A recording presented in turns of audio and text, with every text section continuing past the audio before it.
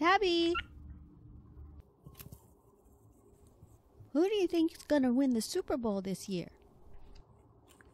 Niners.